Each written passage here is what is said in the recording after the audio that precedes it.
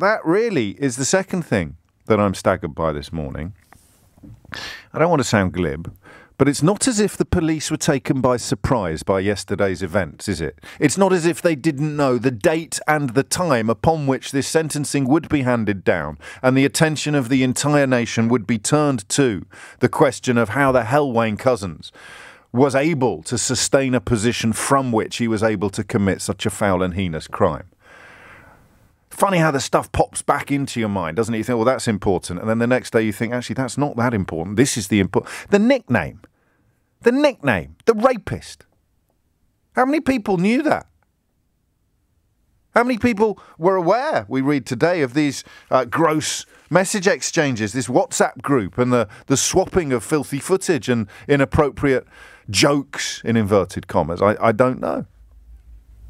But the police knew the date and the day, and the idea that they are acting as if they've been taken by surprise. What question would have been first and foremost in your mind if you were Cressida Dick or any other senior member of the Metropolitan Police? We're going to have to get front and centre with serious, consistent advice to young women who find themselves or are fearful of finding themselves in a comparable situation. We have a minister for policing. We don't have a minister for women and inequalities. As Sheila Fogarty quite beautifully pointed out yesterday, it's tagged onto the back of Liz Truss's portfolio. Foreign Secretary, oh yeah, you can, you can look after the women as well, Liz, can't you? Yeah, well done.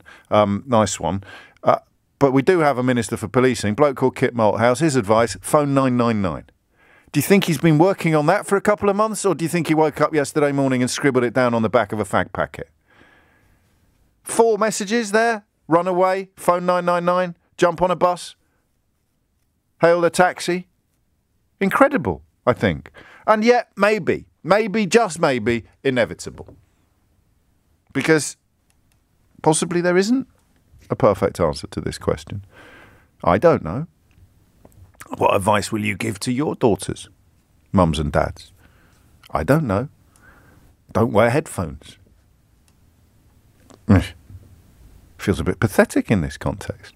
So, again, this idea of clarity and leadership, the idea that when a country is in search of guidance, there isn't any. Whether it should be coming from government, I believe Boris Johnson has tweeted on the issue whether it should be coming from government or whether it should be coming from institutions or whether it should be coming from elsewhere, possibly even the media. God forbid, it used to be the case that the media was uh, the fourth estate rather than just a cheerleader for the worst excesses of political incompetence. I don't know, but there isn't any. And that simple question is not being answered in a simple, clear fashion. What should a woman do if somebody, if a man, a lone male, and actually, even then, as I say the word lone, a little bit of me thinks, well, what if two men are operating in tandem with each other?